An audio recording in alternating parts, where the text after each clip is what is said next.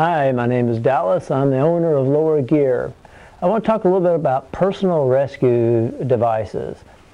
When you're out in the backcountry, you may feel perfectly fine and comfortable and safe, but often people at home are fairly worried. And so we have a couple different devices for that you can stay in touch with people at home and if something bad does happen then you're able to reach out to the rescue services. We've been renting the spot unit and we'll show a close-up of these here in a minute. We've been renting the spot unit for four or five years. What we have now as an addition are the inReach models and the big advantage of these that we want to talk about is the two-way communication ability where people at home can reach you as well as you reach the people at home. And instead of the, like the spot, the restriction of the spot is you have to send preset messages, you can text from these just as if you were texting from your iPhone. Um, and, but it just all works on a satellite network rather than a cell phone. So let's take a look at some of the options that you have with these models.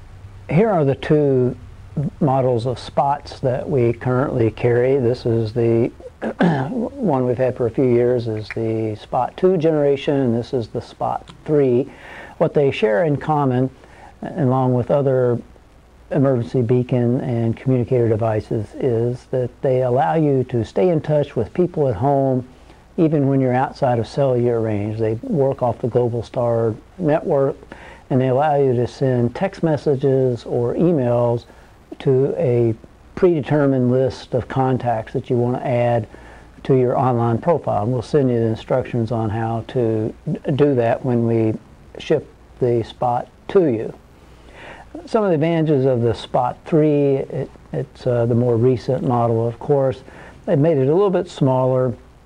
They've changed the buttons around a, a little bit and it works off four lithium batteries instead of three so the battery life is a little bit better it has some advantages in the tracking capabilities and uh, you can use rechargeable batteries in it rather than just uh, regular lithiums like you can have to use in the spot 2 uh, some of those details are on in the product description a little bit more detail about those differences what they share in common as far as function, we'll just look at this one.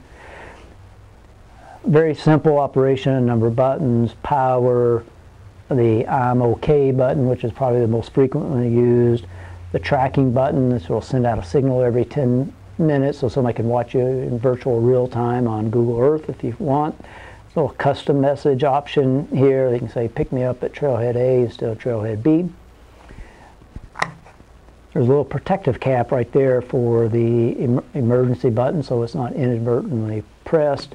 And then this button is a help button that's mostly directed to people at home if they're in a position to be able to help you out. Or you can use it as an alternative messaging source. So ultimately you have like three different messages that you can send out with this.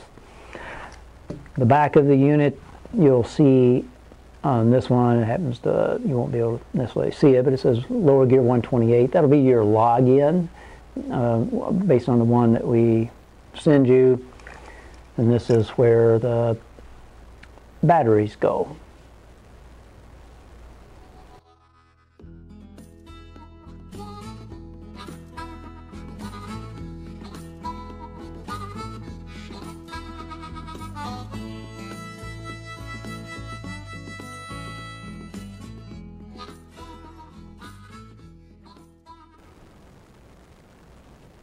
The spot is a great item. We've been renting it for years, um, but do want to compare and contrast it to another option. We have a separate video on the DeLorme InReach, which is this one. To highlight just some of those differences, there's two main things. One is that the InReach uh, allows two-way communication whereas the spot is limited just from you in the backcountry to people back home via email or cell phone.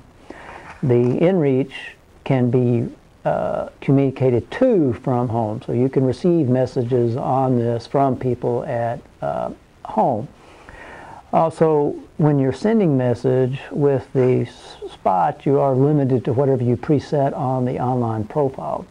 And while you can do uh, preset messages on this, you can also do custom messages. So it's just like having an iPhone with you, if you will, except it works on a satellite network rather than a cellular network.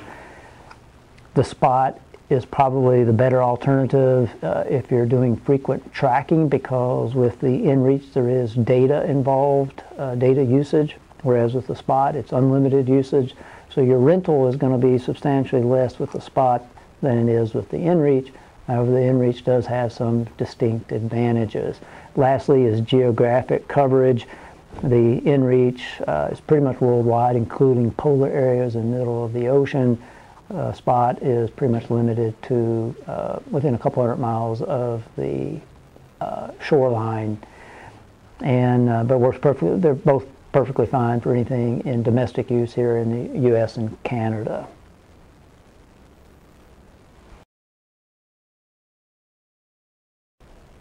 If you need some help deciding which of our emergency beacons is best for you, whether it's the original spot, the new spot, or the latest inReach, then you can just feel free to give us a call at 480-348-8917 or take a look at our website, the product description on all three items at www.lowergear.com.